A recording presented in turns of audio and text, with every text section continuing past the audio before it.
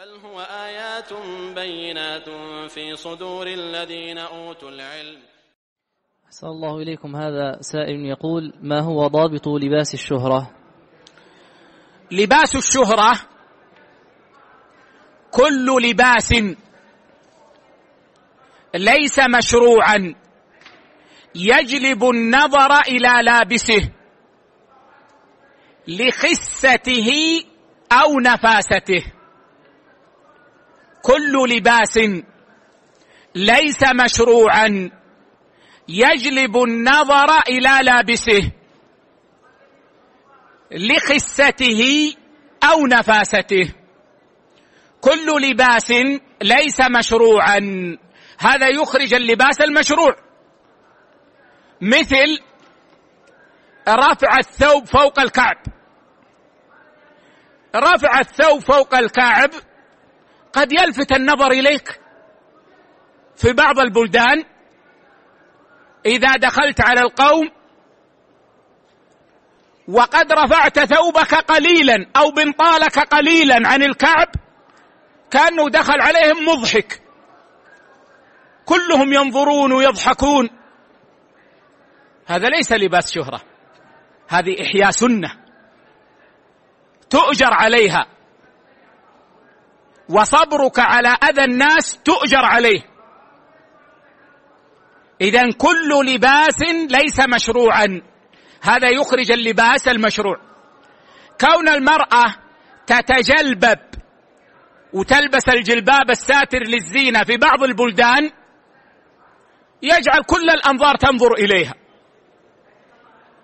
وسائره في الطريق الكل ينظر إليها. هذا ليس لباس شهرة. هذا إحياء سنة. ونقصد بالسنة الدين عموما وليس ما يثاب فاعله ولا يعاقب تاركه.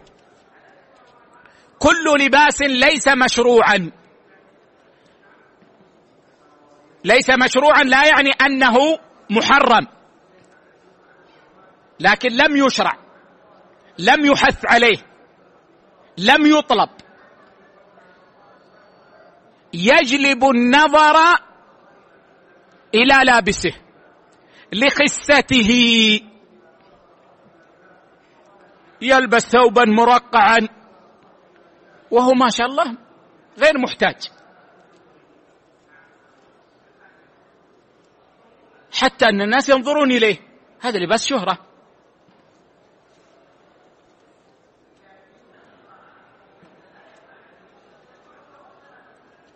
يلبس ثوبا يعني متسخا. حتى أن الناس تنظر إليه. ليس لضرورة ولا حاجة.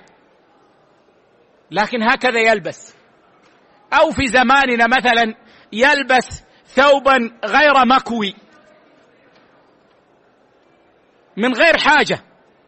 لكن هكذا يريد أن يلبس أمام الناس.